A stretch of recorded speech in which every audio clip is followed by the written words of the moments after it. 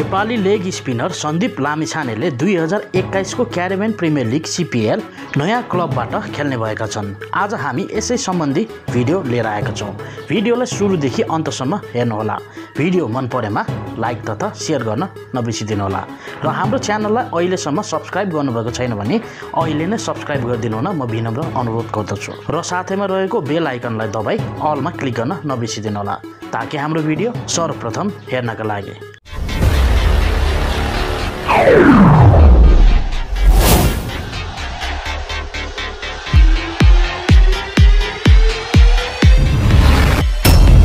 Nepali leg spinner Sandeep लामिछानेले दुई हजार एक्काइसको क्यारिबियन प्रिमियर लिग सिपिएल नयाँ क्लबबाट खेल्ने भएका छन्। साबिक विजेता त्रिनोबाको नाइट राइडर्सबाट सन्दीपले नयाँ सिजन खेल्ने भएका हुन्। सिपिएलले मङ्गलबार सन्दीपले त्रिनोबाको नाइट राइडर्सबाट खेल्ने पुष्टि गरेको हो। त्रिनोबाको नाइट राइडर्सले गत सिजन उपाधि जितेको टिमका एघार खेलाडीलाई रिटेन गरिसकेको छ जसमा स्पिनरहरू सुनिल नारायण अखिल हुसेन र ख्यारी पिएरे पनि छन्।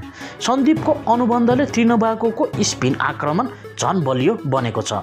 किरोन पोलाटको कप्तानीमा रहेको टोलीमा जिम्बावेका सिकन्दर राजा अमेरिकाका अली खान समेत छन्।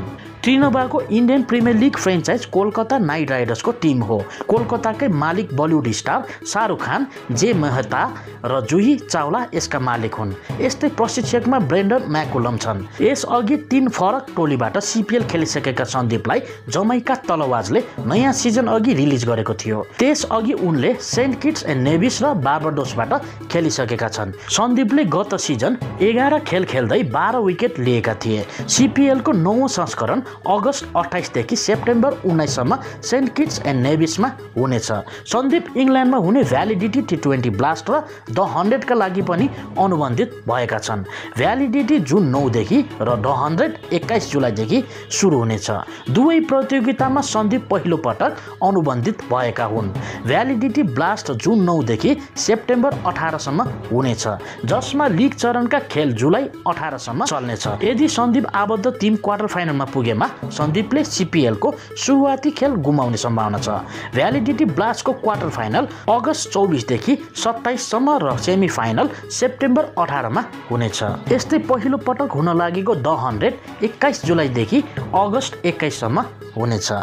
हामी यस्तै क्रिकेट र फुटबल सम्बन्धी अपडेटहरू आउने विशेष त नेपाली क्रिकेट र फुटबल सम्बन्धी। तपाईँ नेपाली क्रिकेट र फुटबललाई माया गर्नुहुन्छ भने हाम्रो यस च्यानललाई अहिलेसम्म सब्सक्राइब गर्नुभएको छैन भने अहिले नै सब्सक्राइब गरिदिनु हुन म विनम्र अनुरोध गर्दछु र साथमा रहेको बेल आइकनलाई दबाउन नबिर्सनुहोला ताकि हाम्रो भिडियो सर्वप्रथम हेर्नका लागि। र हामीलाई इन्स्टाग्राम र फेसबुकमा पनि फलो गर्न सक्नुहुन्छ।